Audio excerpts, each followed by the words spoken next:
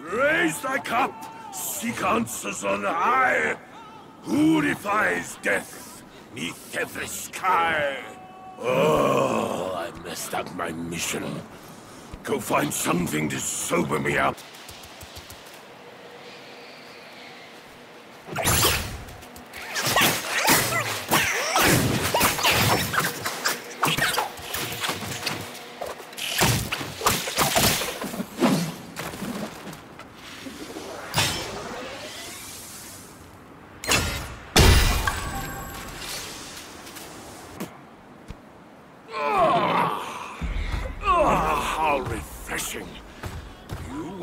Up. Thanks. Enough with the chit-chat. My belly's growling.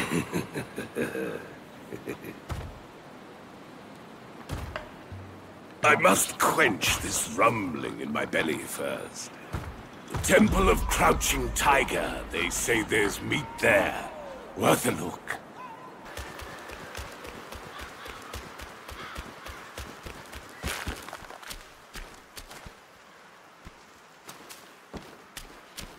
Oh, this putrid rat meat is insufferable. Help me score a tasty treat, will you? Ah, It drives me mad. I've been craving a taste of that juicy jade lotus. Can you find me some in this barren land? I wouldn't mind some meatless meals from time to time. Hmm, I have stumbled upon some interesting leads. The realm of gold does hold a connection to this desolate land. I hear the realm of gold is where the sun sets. There, they held rats above all others.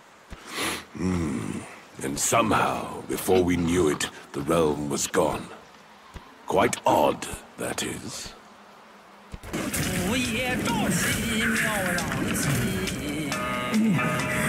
was even... Where did you acquire my brother's gold piece? Give it here!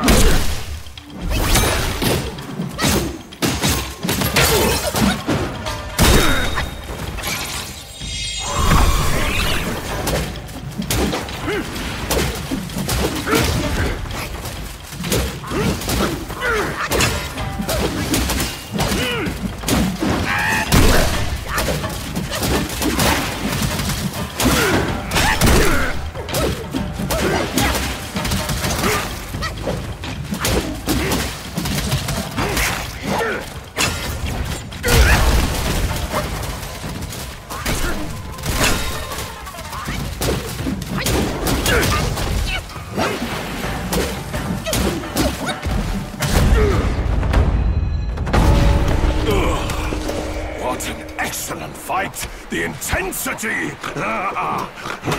this is good. You and I should explore that realm together.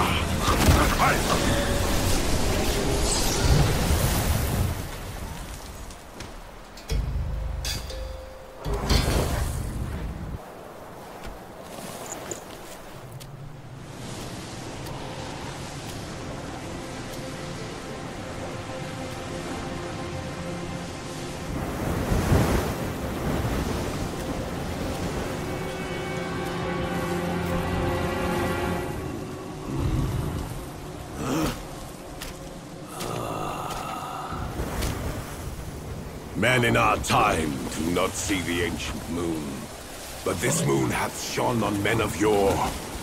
Behold!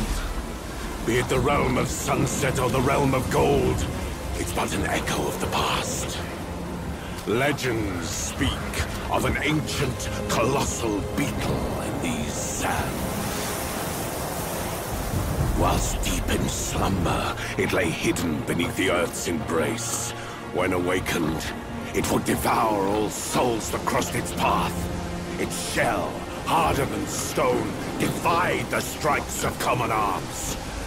It struck fear into traveling merchants and wider to neighboring realms. But a yellow-furred rat sensed the immense power emanating from the insect. He halted the beetle's havoc and harnessed it for his own ends. Overjoyed, the king named the rat Gwai, the royal sage, and built a shrine in his honor. The bound beetle was a perfect source of power, so the rat stayed. He seized the Tang monk using the new power, and battles with soon